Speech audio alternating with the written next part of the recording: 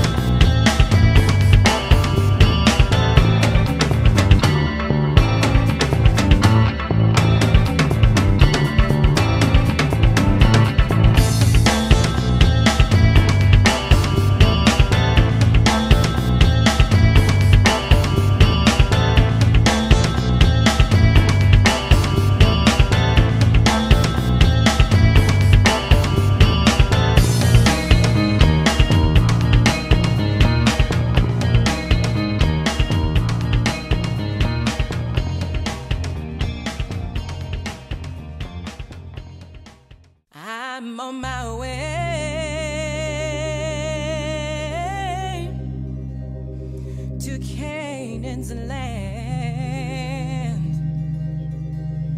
I'm on my way to Canaan's land.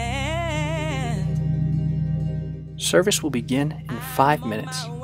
Thanks for joining us.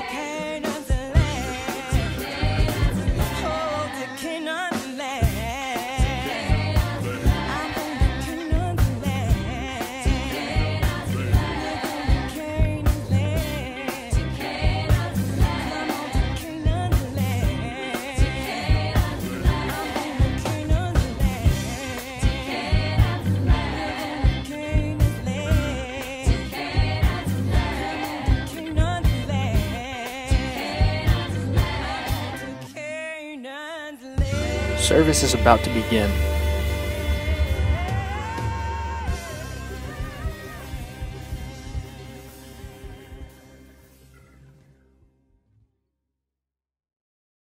Welcome to the worship service of the Central Region of the Boston Church of Christ. We are Valdor and Irene Koha, and it is a joy and a privilege to welcome you to our time together today. Um, this is the time of the year we call Advent. Advent means coming or arrival. So it's the four weeks before Christmas that we celebrate and waiting for the arrival of Christmas. Um, we have an Advent wreath behind us here. You can see it. Um, it's our tradition. It's a tradition we grew up with in Germany that we're keeping. And the candles symbolize the light of God that's coming into the world through Jesus.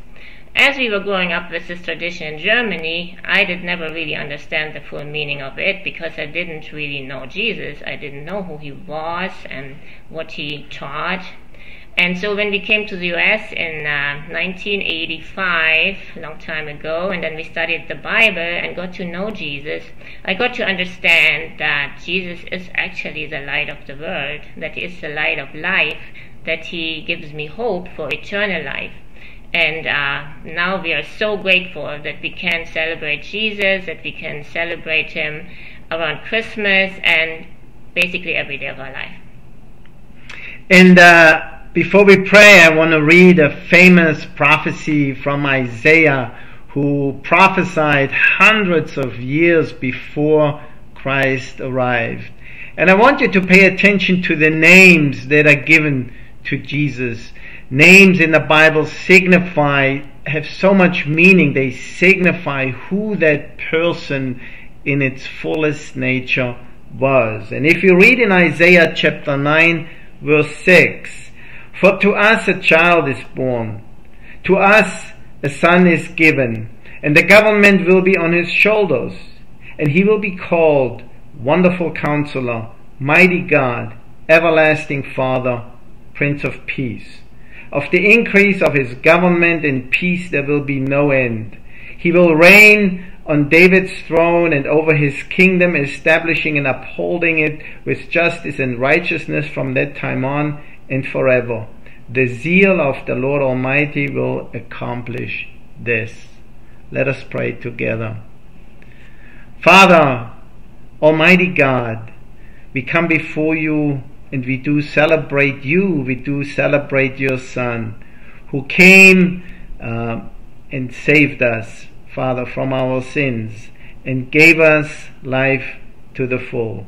And so as we come together today, Father, and worship you, we pray that our praying and singing and meditating on your word, our breaking of the bread, um, would be pleasing to you.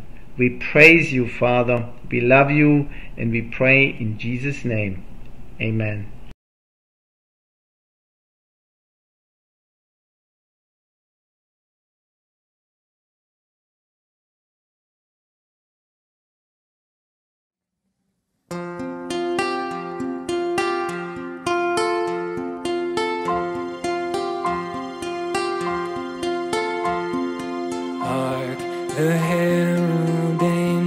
Sing, glory to the newborn King.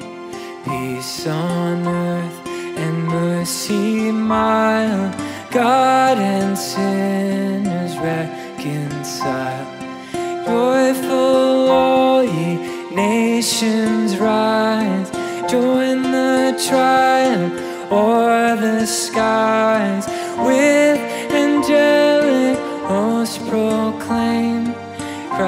is born in Bethlehem.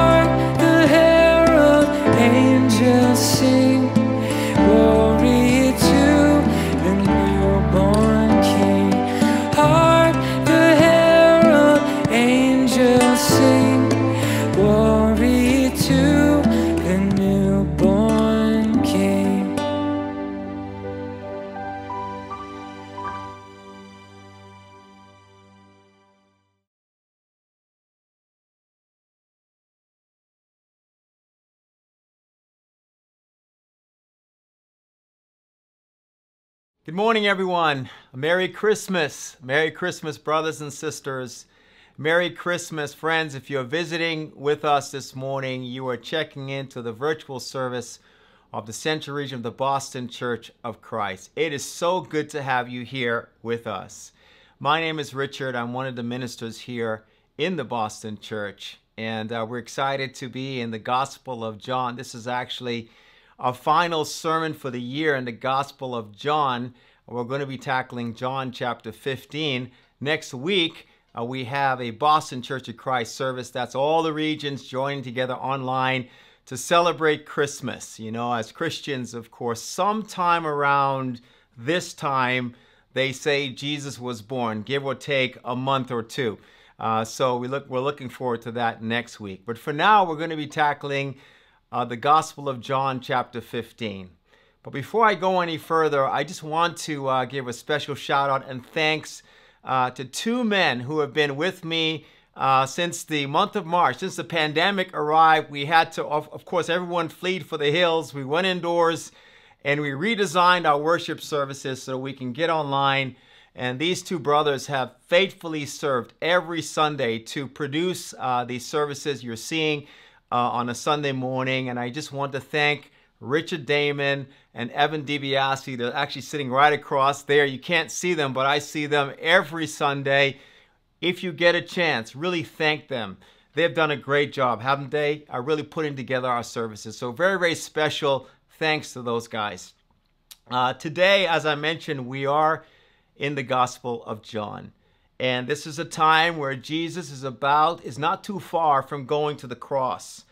And John 15 is, is part of one of the longest discourses of Jesus. It starts in John chapter 14, 15, and 16. Now, if you're visiting and you're not familiar with the Bible, you may have opened the Bible and saw those uh, letters in red. Well, that's Jesus talking.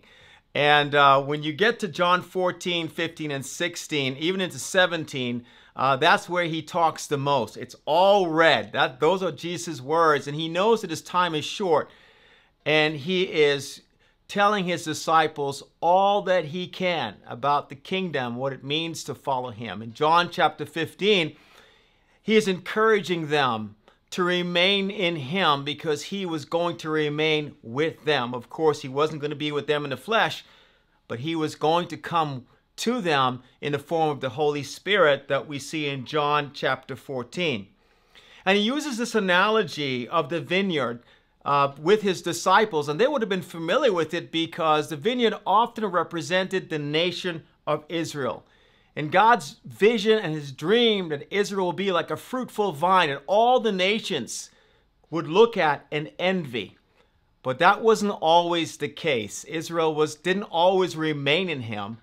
And an, exa- an example of that we, we see here in Isaiah chapter 5, verse 7. This is God speaking about Israel. He says, The vineyard of the Lord Almighty is the nation of Israel, and the people of Judah are the vines he delighted in. He looked for justice, but saw bloodshed, for righteousness, but heard cries of distress. So Israel was not always remaining in Jesus, uh, excuse me, in God. Fast forward in John chapter 15, Jesus is now replacing Israel in this discourse as the true vine. And he's encouraging his disciples that no matter what comes your way, I want you to remember that I am with you and I want you to remain in me. And though things may get rough for you, and they did, by the time you get to the book of Acts, you see them going through persecution and all kinds of trials.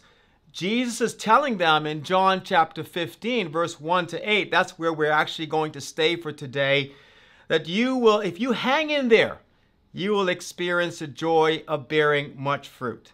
So my hope uh, this uh, this morning is that no matter what we're going through in this time, that uh, you too will remain in Jesus.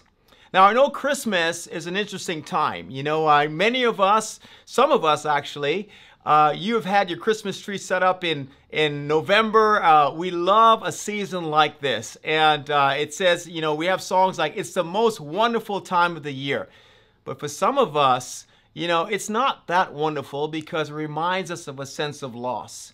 I hope this morning that you will be comforted by this message, knowing that God is working in you and the best is really yet to come. So we're going to begin here in John chapter 15, beginning in verse 1, where Jesus is now addressing his disciples. He says, I am the true vine, and my Father is the gardener. He cuts off every branch in me that bears no fruit, while every branch that does bear fruit he prunes, so that it will be even more fruitful. You are already clean because of the word I've spoken to you. Remain in me, and I will remain in you. No branch can bear fruit by itself, it must remain in the vine. Neither can you bear fruit unless you remain in me. I am the vine you are the branches. If you remain in me and I in you, you will bear much fruit. Apart from me, you can do nothing. If you do not remain in me, you are like a branch that is thrown away and withers. Such branches are picked up, thrown into the fire, and burned. If you remain in me and my words remain in you, ask whatever you wish will be done for you. This is to my Father's glory, that you bear much fruit, showing yourselves to be my disciples. So let's see if we can unpack these first eight verses here in John chapter 15, the first point I want to make is this to remain in Jesus takes a renewal of our will. Have you ever noticed the bedside manner of someone who is visiting a person that they love in hospital? For one reason or another, they are, let's say, in intensive care. And I've been in situations like that where you hear the news of a friend that's sick and you go down and of course you get there and you quietly sort of walk into the room and maybe there are three or four people there. And then there's the person that's really close to them, that they really love and, and who they love. And they're sitting right there beside them. And then another relative may come in and you might hear them say, have you been home yet? And they say, no, I've been here since yesterday and I, and I called into work and I t- I've told them I'm not coming in this week. And I've asked my cousin to bring my clothes. And you really get the sense that no matter what comes their way, the most important thing in their hearts and minds is to remain there, right beside the person that they love. You know, another translation for remain in John chapter 15 is abide. It means to hold to a decision once taken. Now, as disciples, I want us to think for a moment what is one of the most important or the most important decision we've ever made in our lives? I know what mine is. It was the moment that I confessed Jesus is Lord before my baptism. That was that was like it was like a, a wedding vow. In sickness or in health, in times of prosperity, in times of adversity, from this day forth, for the rest of my life, I'm going to be a follower of Jesus. How about you? And you know, following Jesus is a journey, isn't it? It's a journey of joy, of answered prayers, of unanswered prayers, temptations. Sometimes we're confused. God, what are you trying to do? Sometimes it's a moment of clarity. I know what God is, is teaching me now. You know, it's a life of impact, helping other people become Christians. Sometimes we feel disappointment or we're inspired. You know, it sounds like a true relationship, doesn't it? It's a true relationship with God because God is not an idol. He is not someone that just sits there and does nothing.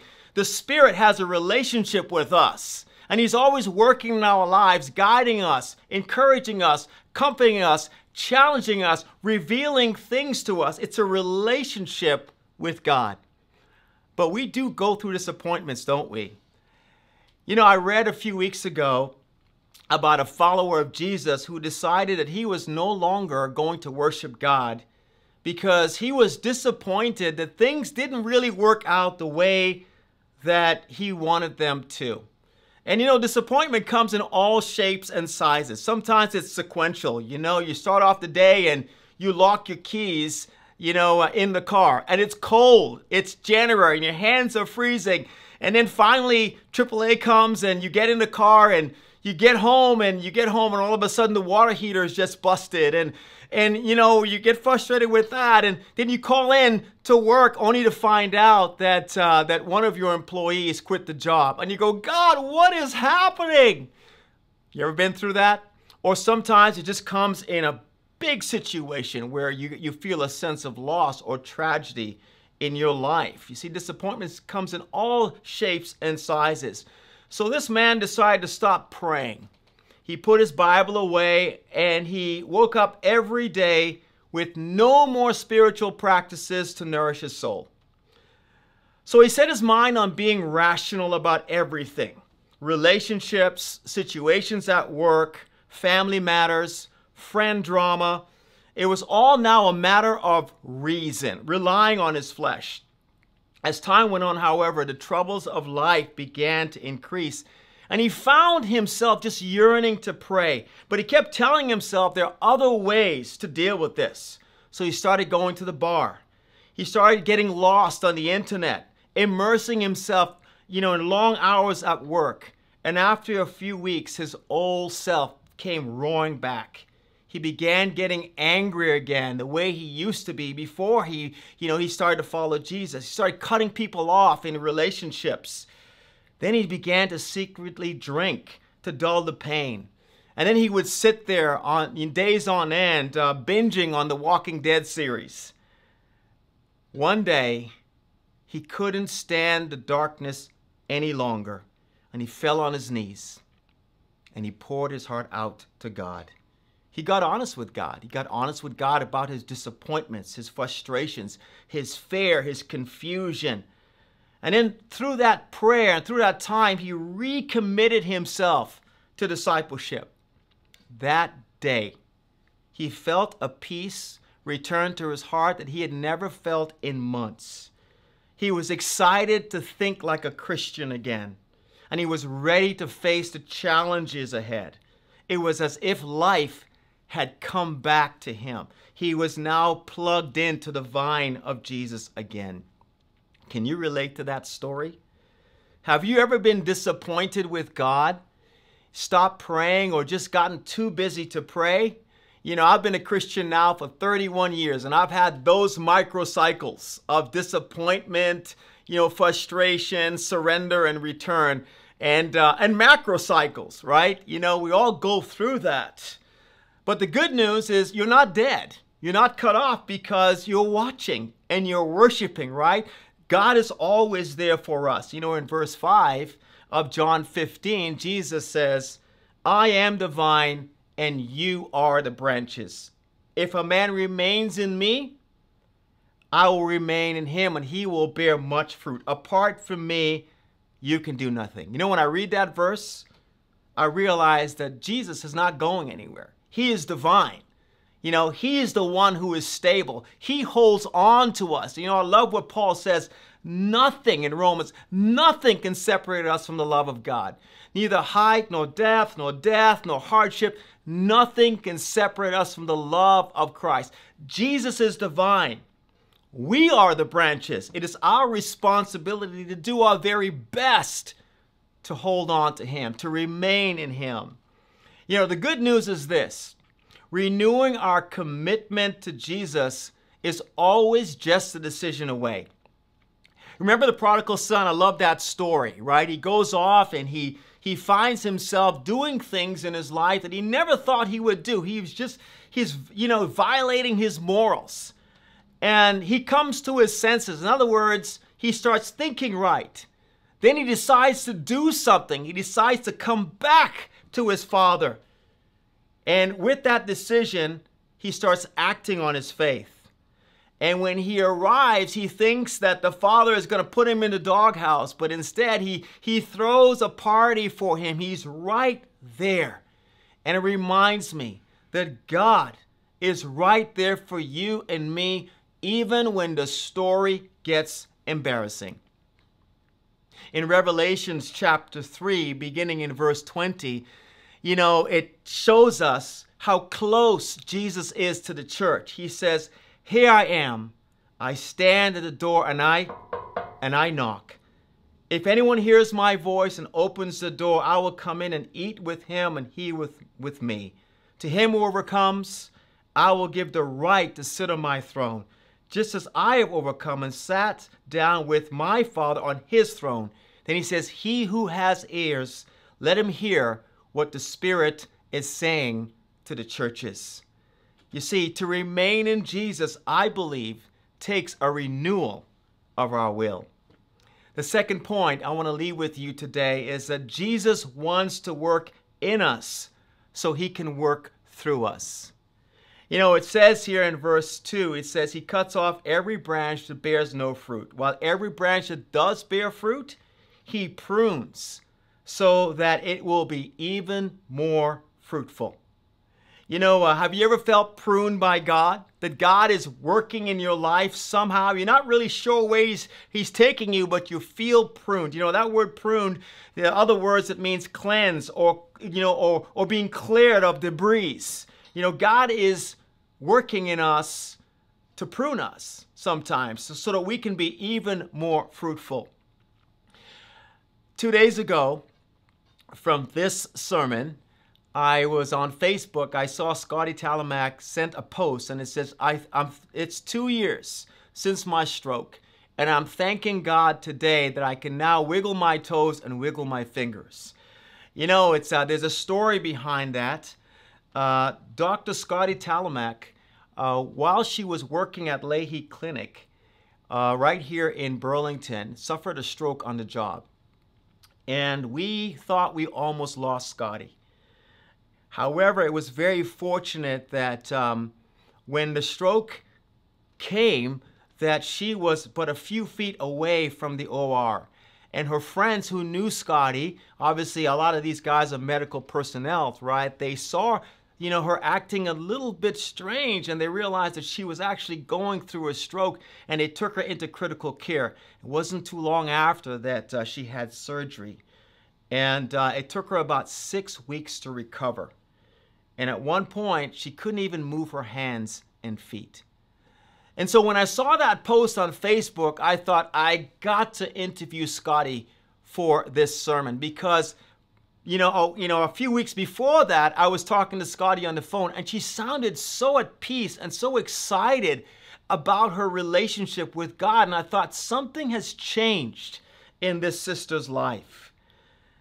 So I interviewed Scotty and I said, Scotty, what was it like during that time? And she says, Well, you know, I was in bed for about six weeks and I couldn't move.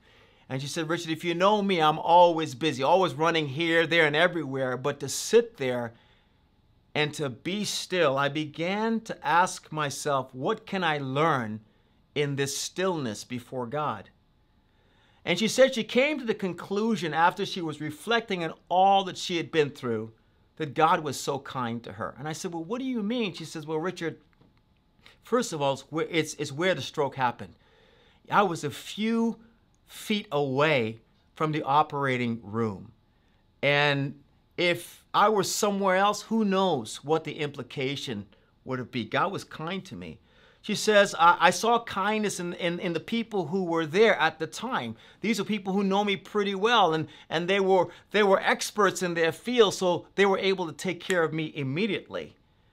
And then she talked about those who were with her during the recovery, family and friends who kept her encouraged through the time, you know, of her recovery. And then she says, and the fact that, you know, that I can walk again, that I my hands work and I'm back on the job, I felt God's kindness to me. And then I went on to ask her, I said, Well, what, what is different about you now versus then? And this is what she says. She says, Today I have a greater grasp on what it means to surrender my life to God she says, you know, before I used to fight things. You know, when when when things didn't work out for me, I want a relationship. I want this. I want that. And and she says, I used to fight God. God, why, why, why? She says, now, uh, you know, all that comes my way, whether it works out for me or not, this is what I say to myself: God is good to me.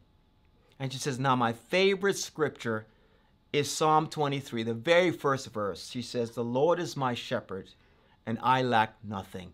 She says, I, I lack nothing, Richard. God has become enough for me because I learned how to surrender my life to Him. And I thought about this verse with Jesus. He is saying, you know what? I prune you so that you can even be more fruitful. Today, her testimony is so powerful to all of us, and I hope her faith will bear fruit in your heart. You know, we are right now in the middle of a pandemic. And hopefully there's a light at the end of the, tu- of, of the tunnel, right? I heard there's a vaccine. Well, not heard. We know that there's a vaccine, right? It's coming into distribution. And, and uh, we hope that uh, next year, this time, that we will be somewhat normal. But, uh, you know, we've all felt the challenge of this pandemic. Right now, as we speak, so many people are getting sick. People are struggling with isolation and separation and and I've been speaking to disciples as I try to call people to find out how they're doing. And I'm really encouraged. You know, a lot of Christians are actually doing well. You know, of course, there's some of us who are going, you know, who are more challenged by the situation. But here are the things that that uh, some of the conversations that I've had, and some of the things disciples have been saying. They said, you know, through this, this pandemic, though as hard as, as it is, I've come to realize how simple life can actually be.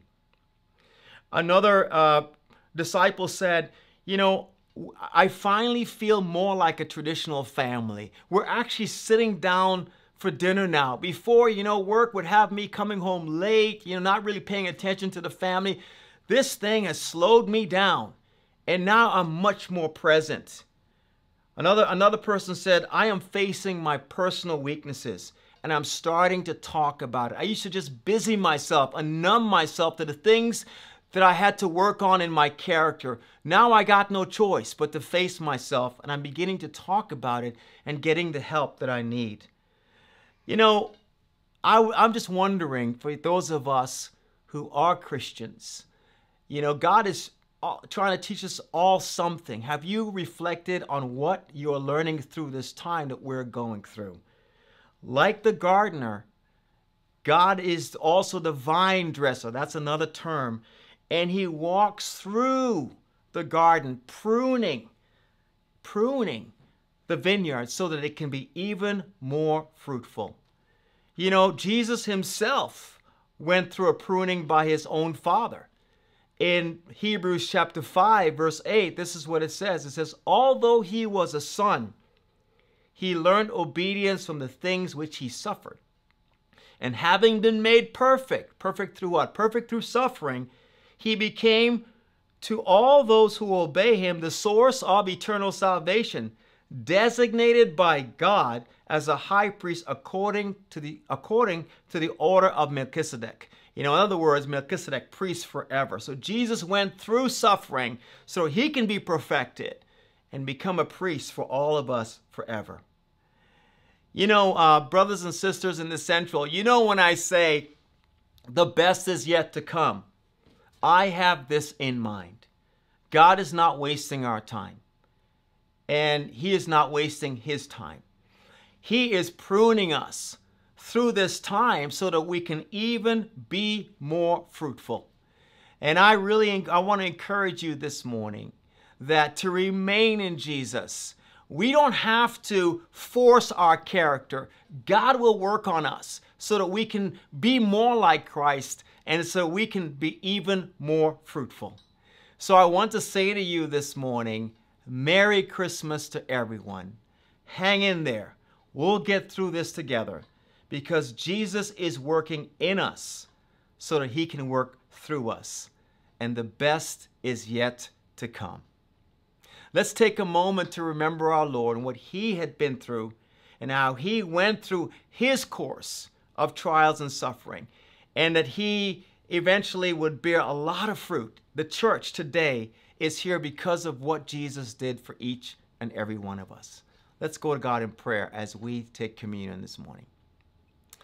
Father in heaven, we want to thank you so much for this uh, incredible passage where Jesus is, is encouraging his disciples that no matter what happens in their lives, no matter what they're going through, he reminds them that he is the true vine, the perfect vine, that if they cling to him, they will bear fruit.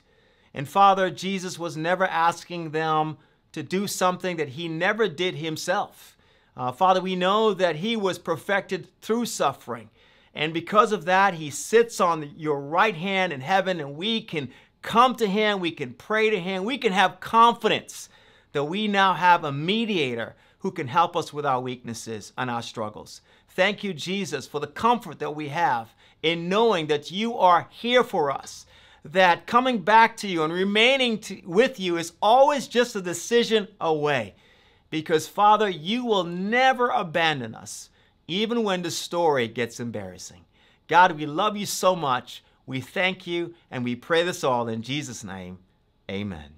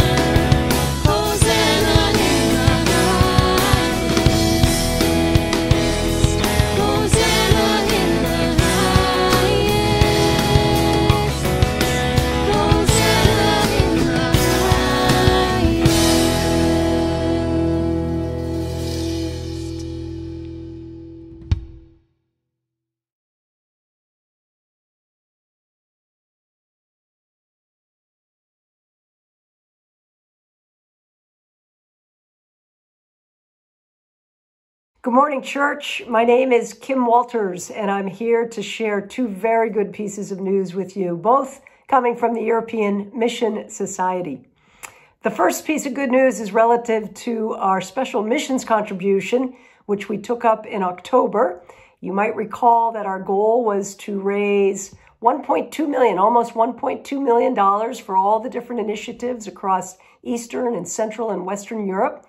And uh, it looks as though we will meet that goal. We are almost there, and uh, we know several people have uh, pledges and uh, are still intending to give. So we are beyond thrilled uh, in a pandemic.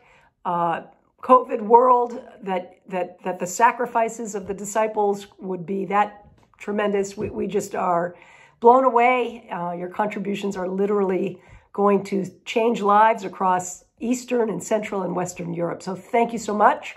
Uh, the other good piece of good news, also from the EMS, is uh, that we have sent over a team of 20 disciples, missionaries. Uh, they are currently in Odessa. They've been in Odessa now for uh, eight weeks. That's on the Black Sea in the Ukraine. And uh, in eight weeks, these disciples are currently studying the Bible with 70 people.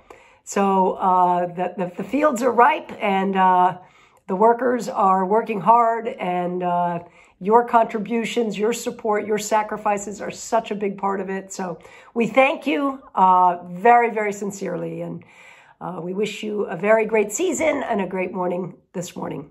Thank you again. Well, I hope that uh, you enjoyed the sermon this morning. Let me encourage you uh, to cling to Jesus through the holidays. Remain in Him, and He'll remain in you. You know, God really wants us to live a fruitful life. You know, I have a few announcements for the Central region. Just want to remind you of our midweek service this coming uh, Thursday at 7:30 p.m. online. So uh, look for that link uh, for that Zoom virtual midweek. And secondly, uh, if you, I just want to also let you know if you're visiting, please join us again uh, next Sunday at our Boston Church of Christ Christmas celebration worship service. Uh, you can you can find us on Facebook or YouTube. Uh, you just go to our Facebook page and click on that link, and you'll be right there with us. That starts at 10:30, so it's half hour later, but 10:30 a.m. next Sunday. So have a great week. Uh, God bless, and let me remind you to remain in Him. Bye bye.